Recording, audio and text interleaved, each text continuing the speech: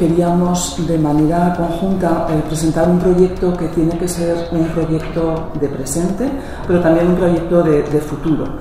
Y que, si me permitís, es la consecución de, de, un sueño, que es un sueño compartido y que bueno, se inició hace ya varios años que la celebración del 50 aniversario bueno, pues ha permitido impulsar este, este sueño y que hoy bueno, pues se presenta aquí, desde luego es un sueño, como digo, compartido para que no solamente haya sido una propuesta de un conjunto de personas, sino que ahora a esta propuesta se vayan sumando cada vez otras personas, otros miembros de la comunidad universitaria. Así que en el inicio hay muchísima ilusión, hay mucha pasión también por este proyecto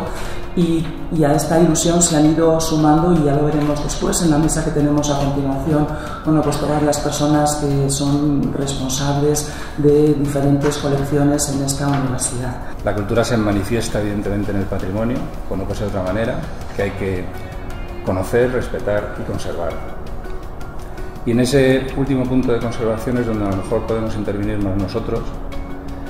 desde la Dirección de Infraestructuras, quiero decir, y lo hacemos con, intentando hacer las cosas bien y contando con, con, la suerte de, tener a José Antonio entre nuestro equipo colaborador y que,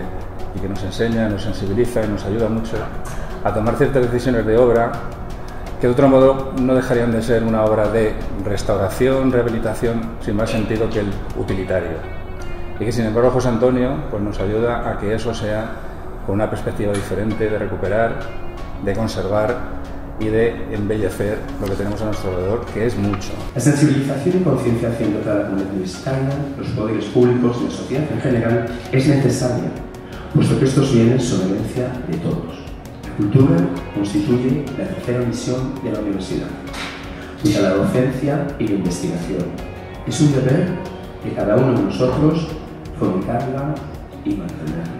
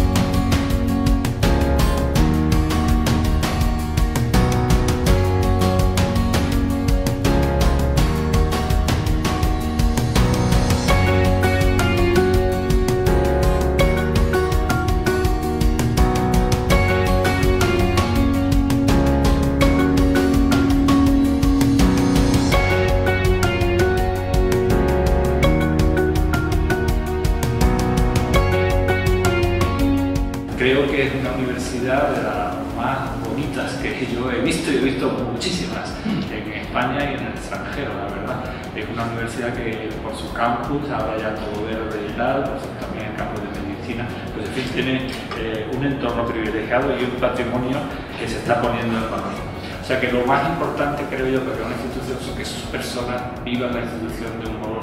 intenso y con orgullo. Y eso tiene muchas facetas, pero una de ellas es conocer lo que es su legado y su patrimonio, porque digamos siendo conscientes del patrimonio que tenemos, respetándolo, cuidándolo, enseñándolo con orgullo y disfrutando de él, es como realmente también uno participa y siente la institución.